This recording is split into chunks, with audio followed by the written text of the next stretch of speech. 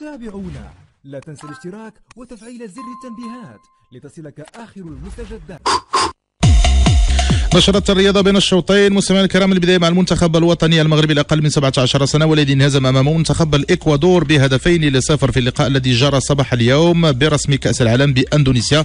وفشل الفريق الوطني المغربي في تحقيق نتيجة الفوز. الظاهرة في الجولة الثانية بشيء مكن فريق الإكوادور من تسجيل هدفين دون مقابل. وأجريت المباراة على أرضية ملعب جيلورا بمدينة سورابيا لحساب الجولة الثانية من منافسات كأس العالم المقامة بأندونيسيا. اندونيسيا علاقه بكاس العالم ومنتخب أوزبكستان فاز على منتخب كندا بثلاثة أهداف لصفر لحساب المجموعة الثانية ولحساب المجموعة الأولى أندونيسيا متعادل مع منتخب بنما بهدف لمثله.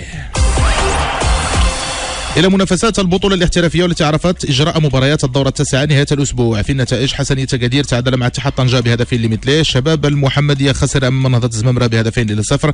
فوز أولمبيك أسفي على الجيش الملكي بهدف لصفر. شباب سوالم تعادل مع الرجاء الرياضي بصفر لمثله. الفتح الرباطي تعادل مع نهضة بركان بهدف لمثله. وفريق المغرب التطواني تعادل مع المولودية الوجدية بهدف لمثله. المغرب الفسيخ خسر أمام اتحاد ورقة بهدف مقابل لا شيء. الترتيب المؤقت في انتظار إجراء المباريات المؤجلة في المركز الأول الجيش الملكي نهضة بركان الرجاء الرياضي 17 نقطة المركز الرابع المغرب تطواني وفريق الفتح الرباطي 15 نقطة المركز السادس المغرب الفاسي 14 نقطة المركز السابع الوداد واتحاد توارقة 13 نقطة المركز التاسع نهضة الزمامرة أولمبيك أسفي 12 نقطة المركز الحادي عشر شباب المحمدية وشباب السوالم 8 نقاط المركز الثالث عشر اتحاد طنجة 7 نقاط المركز الرابع عشر حسنية أكادير 5 نقاط المركز ما قبل الأخير يوسفية برشيد والمولودية الوجدية بأربع نقاط.